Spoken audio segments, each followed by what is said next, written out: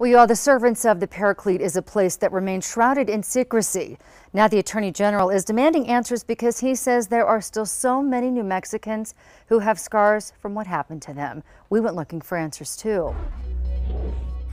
Tucked away in the Jemez Mountains, this is the Servants of the Paraclete, a beautiful facility. The Attorney General says what happened here was ugly. The church should have put families uh, and safety first. Attorney General Hector Balderas says for years and generations that did not happen. The Servants of the Paraclete opened in the 1940s, treating priests from all across the country for alcoholism and psychosexual issues.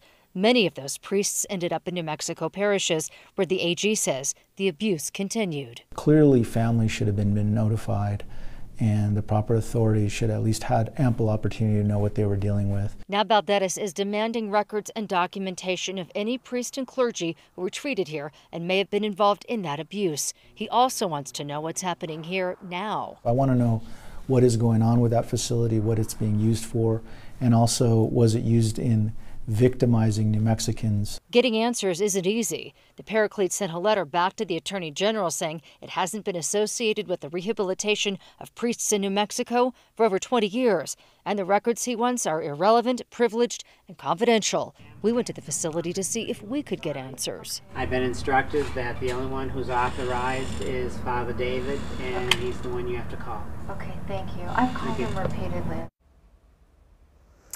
And we did call the servants of the Paraclete multiple times. Our calls have never been returned. The AG says he plans on continuing his legal battle with the servants of the Paraclete to try and get any records and documents if they still exist. For Target 7, I'm Nancy Laflin.